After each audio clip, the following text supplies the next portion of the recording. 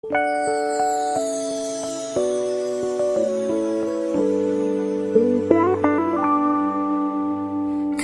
리 없다고 아닐 거라고 믿었죠. 음, 내가 그댈 사랑한